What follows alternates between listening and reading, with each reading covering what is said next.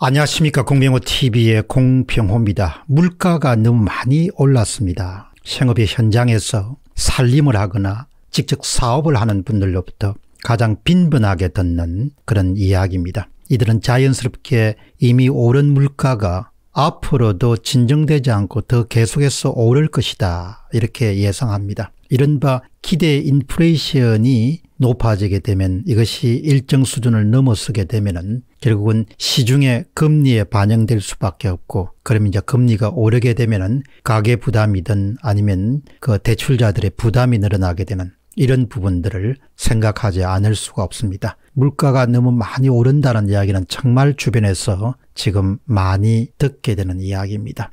첫 번째 질문은 물가 상승 압력입니다.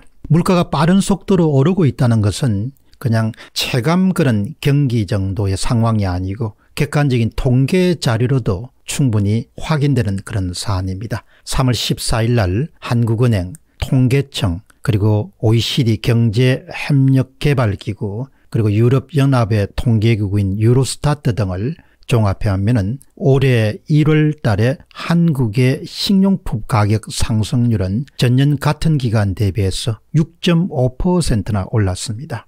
주부들이 계속해서 물가가 너무 많이 올랐다는 이야기가 충분하게 통계적으로 입증이 된 겁니다. 국제 비교를 기준으로 하더라도 한국의 주요 식료품 가격의 인상률은 이례적으로 높다 이렇게 볼 수 있겠습니다. 경제 행력 개발 기구인 OECD 전체 평균인 3.1%포인트의 인상률보다도 2배 이상이 높은 그런 수치입니다. 37개 회원국 가운데 터키 18.1%, 칠레 7.8%, 아이슬란드 6.7%에서 네 번째로 높은 수치를 기록했습니다. 올해 1월 기준으로 보면 미국 경우는 3.7%포인트, 유로 지역에는 1.5%포인트로 월등히 높습니다. 특히 우리가 주목해야 될 것은 미국의 주요 식료품 가격 상승률이 다른 지역에 비해서 고공행진을 하고 있다는 그런 사실입니다.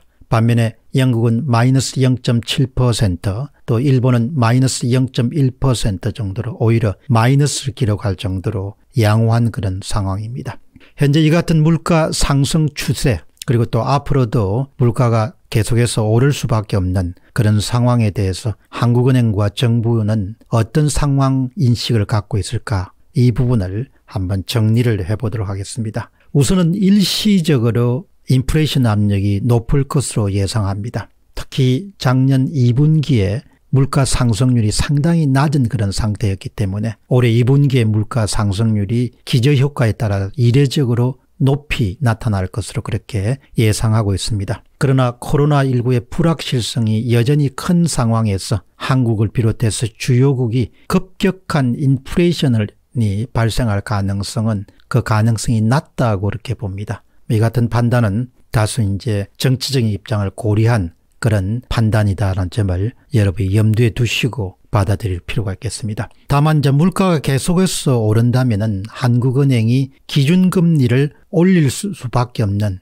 그런 요인이 더 커지게 되지 않는가 그런 점을 관계 당국자들도 분명하게 이해하고 있습니다. 한은금융통화위원회는 2020년도 3월 16일에 아주 큰 그런 금리 인하를 단행했습니다. 기존의 1.25%포인트에서 기준금리입니다. 0.75%포인트로 인하를 시켰습니다. 그리고 지난 2월 6일에 연달아서 기준금리를 동결하는 그런 조치를 지금까지 취해오고 있습니다. 일부 전문가들 사이에는 한국은행이 금리를 올리지 않겠다는 그런 공언에도 불구하고 올해 안에 기준금리를 올릴 수밖에 없을 것이다. 그 주요 요인은 인플레이션 압력이 커질 수밖에 없을, 없기 때문이다. 이렇게 또 지적하고 있습니다. 또한 일부 전문가들은 백신 접종 등으로 인해서 코로나19 상황이 어느 정도 통제 가능한 그런 상황에 놓이게 되면은 그리고 또 하반기에 인플레이션 압력이 커지게 되면은 기준금리를 인상하지 않을 수 없는 그런 상황에 한국은행이 처하게 될 것이다. 이렇게 주장이 상당히 설득력을 얻고 있는 그런 상황입니다. 다음 질문은 시중금리 동향입니다. 최근 은행권의 가계대출금리는 이미 인상 추세에 들었었습니다. 예를 들어 3월 14일을 기준으로 4대 시중은행의 지난 3월 11일 기준 가계 신용대출 금리는 1등급 경우에는 연율 2.61에서 3.68 수준입니다. 이것은 지난 7월 달에 지난해입니다. 지난 7월에 1.99에서 3.52%에 비교해 보면 하단만 보더라도 0.62% 포인트가 높아진 것으로 보입니다. 신용대출 금리뿐만 아니고 은행께서 다루고 있는 주택담보대출 금리도 모두 다 반등하는 그런 추세를 뚜렷이 보이고 있습니다. 가계대출 금리는 앞으로 오름세가 계속해서 이어질 것으로 관계자들은 내다보고 있습니다. 여러분이 잘 아시다시피 대출금리는 시중의 은행에서 대출 신청자의 신용도도 감안을 하지만 시장금리의 가상금리, 우대금리 등을 다 고려해서 결정을 하게 되고 또 대출금리가 인상이 되면 은 기존의 채무자들에게도 한 3개월에서 6개월 정도마다 오른 금리를 적용하기 때문에 전반적으로 가게나 자영업자들의 부담이 높아질 수밖에 없습니다. 현재 2월 말 기준으로 보면 가계대출의 잔액은 총 1,003조 1천억입니다. 그러니까 1,000조를 우리가 돌파했습니다.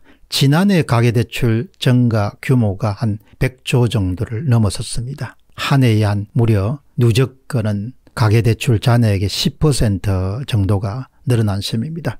대출금리가 1%포인트 인상될 때 이자 부담은 12조 원 정도 늘어나게 됩니다. 자영업자들에게 국한할 때는 사업자 대출과 가계대출을 모두 포함하면 한 5조 원 정도가 늘어나게 됩니다. 어떻든 아주 가까운 장래에 우리가 뭐 뚜렷한 아주 괄목할 만 정도의 이자 증가를 우리가 예상할 수 없지만 이미 금융권에서는 이자율 증가 추세가 이미 발동이 걸렸다 이렇게 보실 수가 있겠습니다. 대출금리가 계속해서 이제 상승 추세를 가고 있으면은 이 부분에 대해서 충분하게 경제 주체들이 염두에 두고 여러 가지 계획을 잡아야 되지 않겠느냐 그런 생각을 하게 됩니다. 어떻든 얼마 동안은 가장 초미의 관심이 인플레이션 압력과 금리 상승 이 부분에 많은 그런 관심이 모아질 수밖에 없지 않겠느냐 그런 생각을 하게 됩니다. 공병호 TV의 공병호였습니다. 감사합니다.